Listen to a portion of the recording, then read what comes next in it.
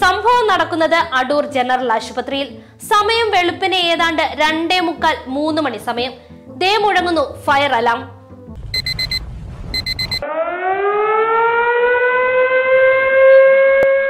ചത്തിട്ടെടുത്താ എടാ, എഴുന്നേക്കടാ.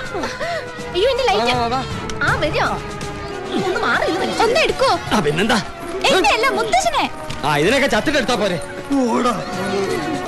ജനകഴിയുടെ ചോറ് ഉണ്ണും എടുത്തിട്ട് എന്താണെന്ന് പറഞ്ഞ്.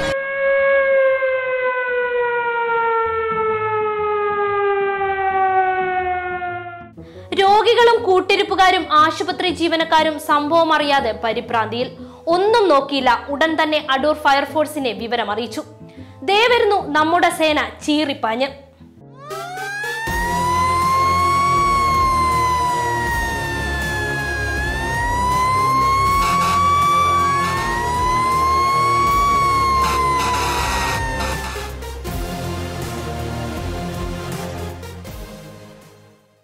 സേനയുടെ പരിശോധനയിൽ അപകടം ഒന്നുമില്ല. പിന്നെ എന്താ പറ്റിയത്? ആ ഒടുക്കം ഇങ്ങനെ.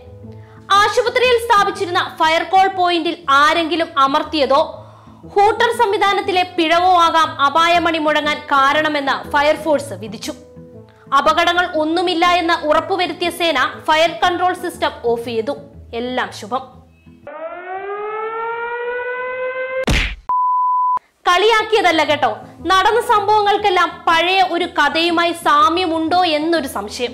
സംശയം മാത്രമാണ്. പുലി വരുന്നേ പുലി വരുന്നേ എന്ന് പറഞ്ഞ് അവസാനം പുലി വന്നാൽ എന്ത് ചെയ്യുമോ എന്തോ ഇതാണ് അവസ്ഥ. ഇത് ഞങ്ങളുടെ മാത്രം സംശയമാണ്. മറ്റാർക്കും ഈ സംശയം വേണ്ട.